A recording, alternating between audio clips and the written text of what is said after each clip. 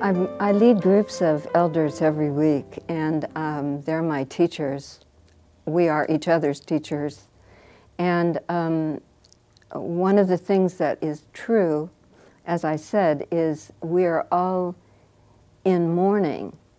And I don't think of that as a bad thing. If you think mourning and morning, um, M O U R and M O R N, that we are constantly losing things um, and we're welcoming new insights and, filling up that space that we lost. At the same time, it's really important to do the mourning.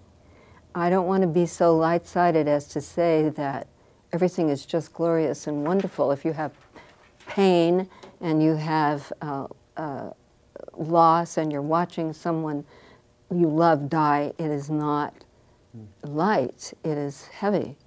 And it is also down to the nitty gritty, the center, the ground of life. And because of that, it's profound.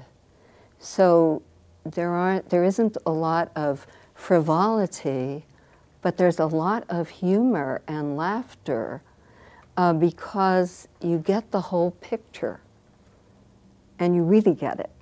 You get it in your insides.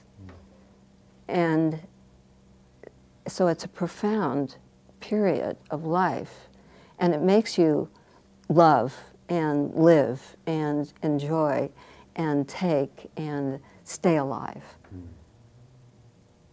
It takes both sides. And it's the paradox of aging.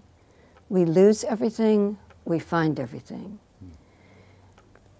I just finished writing about paradoxes, all the paradoxes of age. And this, and we've just hit a crucial one. Mm-hmm. We're losing all the time in all the ways that we know about. And at the same time, we're finding everything that, that's important and both are true. And maybe one, maybe it takes one to have the other.